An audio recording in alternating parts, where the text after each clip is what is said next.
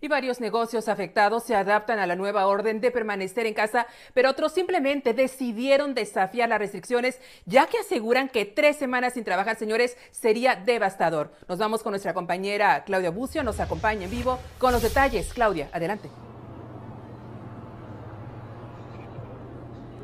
Así es, muy buenas tardes. Estamos en vivo desde Chulavista, fuera de la barbería Heaven, donde como pueden ver ellos decidieron permanecer abiertos, ya que dicen que esas tres semanas, como tú lo mencionas, sería muy difícil para ellos y los clientes están aprovechando para venirse a hacer un corte de cabello antes de que, si es que se ven obligados a cerrar.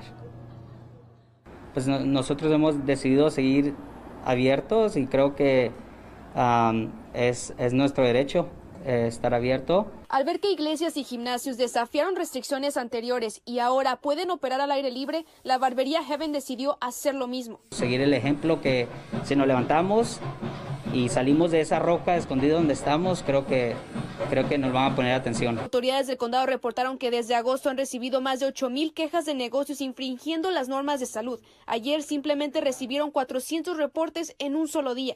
Creo que todo negocio es esencial para alguien a lo mejor no para el gobernador, a lo mejor no para, pero, pero las familias, ah, como mi familia, la familia de, de todos. Bajo la orden de permanecer en casa, barberías, estéticas, cervecerías y bares tienen que cerrar por al menos tres semanas. Restaurantes, por su parte, están limitados a pedidos para llevar. Así que la comparación es, es muy, muy, muy notoria. Este, tenemos una venta de 5%.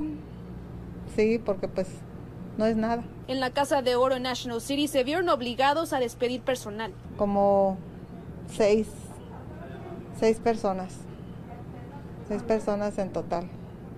Entonces sí, sí, sí está, sí es drástico, porque pues todos nos decían, ay, por favor, aunque sea un día, pero pues cuando estábamos afuera les estábamos dando dos días a cada quien. Ante esta crisis económica, supervisores del condado extendieron un fondo para pequeños negocios que se aprobó hace dos semanas. Como propuso el supervisor Nathan Fletcher, esos 20 millones estarán ahora disponibles también para negocios afectados por la orden regional de permanecer en casa, una beca que debe solicitar en línea y que debe hacerlo lo más pronto posible, ya que los fondos son limitados. Digamos, hubiera sido tres semanas ahorita, no hubiera sido tan difícil, pero es tres semanas acumulada con casi todo el año. Entonces financieramente sería muy difícil para nosotros continuar.